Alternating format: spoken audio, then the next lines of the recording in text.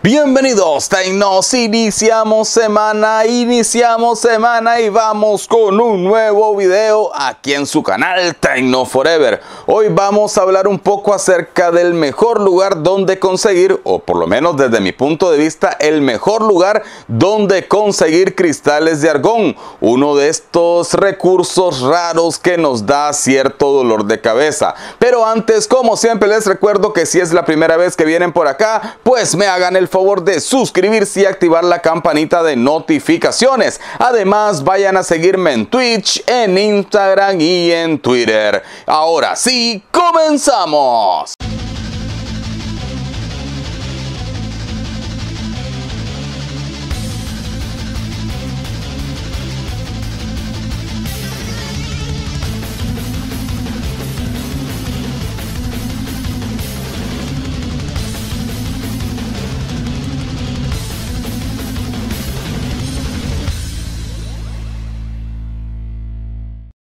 Los cristales de argón son un recurso raro que necesitaremos para la construcción de un sinnúmero de elementos dentro del juego y que únicamente podremos encontrar en los diferentes nodos del vacío Orokin y en algunos objetivos de asesinato.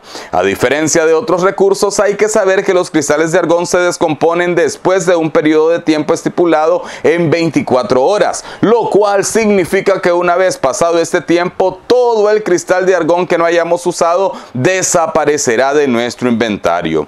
En cuanto al mejor lugar para farmearlo en grandes cantidades, les sugiero desde mi experiencia de juego el vacío mod una supervivencia de enemigos, pues ahí más o menos con un cierto nivel y pues que quizá para los que están comenzando no sea tan fácil, así que es mejor ir en un buen escuadrón. Aquí deben estar atentos no solo a cuando caigan producto de matar enemigos, sino también a los depósitos de pegmatita de argón, a los contenedores y a los armarios, ya que pueden contener este escaso recurso. Algunos consejos a tomar en cuenta tienen que ver con la utilización de un Necros con una buena build de farmeo. Además nos será de mucha ayuda una buena melee con daño cortante y un cava de Smita. De ese gatito, de este último que estoy hablando, pues en el canal hay una build que seguramente les vendrá de maravilla.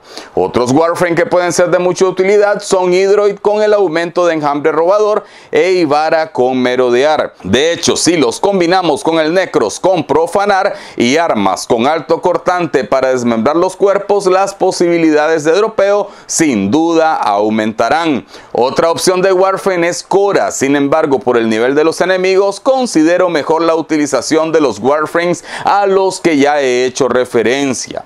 Otra forma de obtener cristales de argón y que muchos extrañamente no saben es acceder a la misión semanal de escultura de Ayatan que encontraremos en el Bazar de Maru por otra parte, hay que saber que si lo que necesitamos es simplemente uno o dos cristales, las misiones de exterminio y captura serán generalmente nuestras mejores opciones, ya que las haremos en menor tiempo que las que ya les he sugerido anteriormente. Esto sí, siempre me refiero al vacío, al vacío, no en otro planeta, al vacío.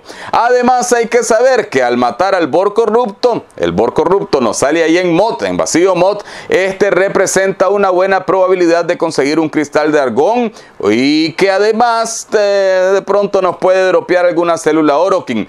Casi siempre a mí me cae cristal de argón, no sé, si será suerte o qué cosa, pero en este sentido aparentemente las posibilidades parecen ser iguales para ambos recursos, tanto para el cristal de argón como para la célula Orokin. Como un dato curioso, el argón es el décimo octavo elemento de la tabla periódica y es un gas noble que normalmente no se descompone, tal y como lo hace el cristal de argón del juego. Hasta aquí el video, jóvenes tecnos. Como siempre les pido su amor Prime, con sus likes, con sus comentarios.